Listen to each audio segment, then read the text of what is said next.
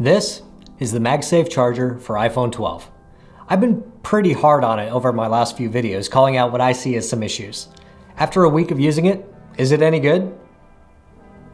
Hey, I'm Jerry, and when Apple announced the iPhone 12 a few weeks ago, they reintroduced MagSafe in the iPhone as a circular set of magnets in the back that allow for attachments of wireless chargers and new accessories.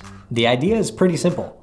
Magnets in the back of the iPhone align with magnets in the MagSafe charger to keep the charger connected and centered on the charging coils so you don't wake up with a dead battery. That's the biggest issue with regular Qi wireless chargers. If you do not place your iPhone on the device directly over the charging coils in the pad, then your device will not properly charge and you wake up with a dead battery. Even vibrations for notifications have been known to move a phone just enough so that it falls out of alignment and stops charging. Apple tried to solve this issue with the failed AirPower charging pad that never made it to market because, I guess, overheating. Xiaomi developed a pad that automatically detects where you place your device and moves the charging coil to alignment. That's actually pretty neat, and a number of companies have been trying to find new ways to make wireless charging better. MagSafe is a bit of a simpler design. Besides having a more secure connection and proper placement via magnets, you also get the benefits of faster wireless charging. MagSafe can give you up to 15 watts of wireless charging versus 7.5 with a standard Qi wireless charger. I said up to 20 watts, more on that in a minute. So those are really the benefits of MagSafe. That sounds pretty good, right? Faster, more secure wireless charging? Sure. Here's what I don't like. Unlike a standard wireless charging pad, I need two hands to remove the MagSafe charger. One of the benefits of wireless charging is you can just place your phone on the charging pad, and when you're done or ready, you just pick it up and walk away without thinking about it. You can't do that with the MagSafe charger. The connection is easy. Just place the wireless charging puck on a surface, put your phone over it, and it snaps on and connects. It's that easy, and it's kinda cool. But then you need to pick it up to disconnect it. I know, this seems like a dumb thing to complain about, but if you're spending money to wirelessly charge a device and you still have to do the same thing you would do with a cord, that just doesn't seem like a benefit to me. I have gotten comments on my channel saying that the benefit of using MagSafe will be for gamers so that you can charge your phone and play your game without the cord getting in the way. Well, the cord's a little bit short, but let's give it a shot. I plugged in the MagSafe to an outlet right next to a chair and sat down to play a game. I got really into this real racing game and I played for a long time. Then I just kind of needed to stretch because, you know, sitting for a long time makes your butt tired, so you gotta move every now and then. So you move forward just a little bit and the cord and charger get ripped right out of the wall. So yeah, I think three feet is too small. Even sitting in a chair right next to the power outlet, I was easily able to pull this out of the socket just adjusting my seating position.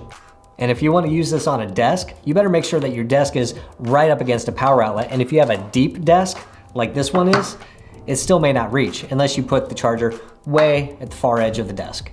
But then it's even more inconvenient because to remove your phone, you still have to reach back with two hands to disconnect it.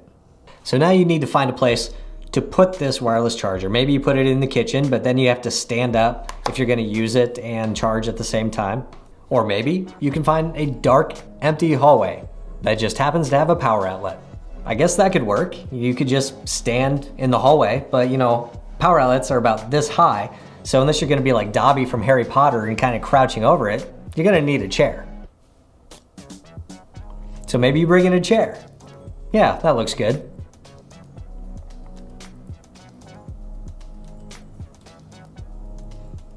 Yep, I can do this. I'll just sit here and use my phone. But wait, where do I place the puck? I guess I could put it on the chair. Nah, I'm gonna need a table. Yeah, that'll work. But since I'm gonna be spending time here, I may as well get a plant, make it look nice. Yeah, yeah, that works. Now I've got a nice little charging station in a dark, empty hallway. Now, of course, that only works if you have a dark, empty hallway with a power outlet and a stool and a table and a plant. Now you may have noticed that I was using this Anker USB-C charging adapter, and that's because this $40 puck does not come with a charger. Apple's expecting that you already have a charger of some kind, or you shell out another $20 for Apple's 20 watt charger. Okay, for $60, you can almost get three of these RAV Power wireless charging pads with power adapters and spread them around your house. All right, so I know what you're thinking. You already have a power adapter of some kind, and $40 does not seem too bad for this wireless charging puck that gets 15 watts of charging versus the standard 7.5 watt charging that you would get with a Qi charger. Well, I'm sorry, the MagSafe charger will only give you 15 watts of actual charging if you use Apple's very specific 20 watt wireless charger. Any equivalent or even faster charging brick will drop you down to 10 watt wireless charging, just two and a half watts more than a standard Qi charger. Okay, let's say you don't care that the cord is only three foot long and you don't care that you need two hands to remove the charger from the phone. And you have no issues paying $60 for the MagSafe charger and the Apple 20 watt adapter. You tell me it's all worth it because the faster charging you get compared to a standard wireless charger. If this is the case, the MagSafe charger provides zero benefit over a USB-C to lightning cable and a 30 watt adapter, which can charge the iPhone at 20 watts or more. And a lightning cable comes in the box with the iPhone, so you don't need to spend $60 for the wireless, wireless, wireless charging pad with no benefits. So, if you don't understand what I'm saying yet, I'm saying do not buy this Apple MagSafe charger. It provides zero benefit for regular charging, with maybe the exception of playing a game on the floor next to a power outlet. I'm not saying that MagSafe is a bad idea. I think the future of MagSafe is actually going to be great with new accessories and third-party charging docks, car docks, and whatever.